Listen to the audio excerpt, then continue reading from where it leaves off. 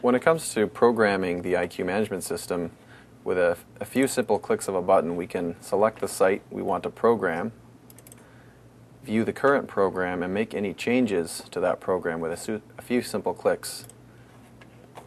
We can change watering days, we can change duration, we could add and remove start times, we can verify the program fits in a watering window, and we can then download that to the site. We can also configure station uh, flow rates and input information such as precipitation rates that allow for weather-based scheduling and for flow detection. The software allows us to change run times and start times as well as enter zone information and name zones um, such as location, and, uh, and plant type or plant material type. We can then download this schedule to the controller out in the field and it saves us time by not having to be on site to make these changes. We can do these things remotely and this is not only saving us time but saving us money and the end result is it's saving our clients a significant amount of water. We can set up things like Flow Manager um, from one screen and with a few simple clicks of a button.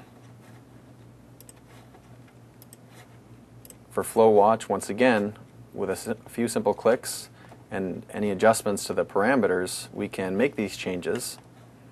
The controller then notifies us that the change has been made and by simply clicking this button we can synchronize the changes made here at the computer and we can download that to the site. We can see alarms here on the desktop and quickly view those alarms. So rather than sending one of our staff to the site, uh, we can troubleshoot the problem, isolate it, and then take action. One of the features we really like is the rain delay feature, which allows us to be an active water manager and not only react to weather, but if we see approaching weather systems, we can shut down individual sites or we can shut down a whole area of the systems we manage and proactively help save our clients water. Rain Bird has made it very easy for us to program custom communication cartridges such as the Wi-Fi Ethernet or GPRS cartridge.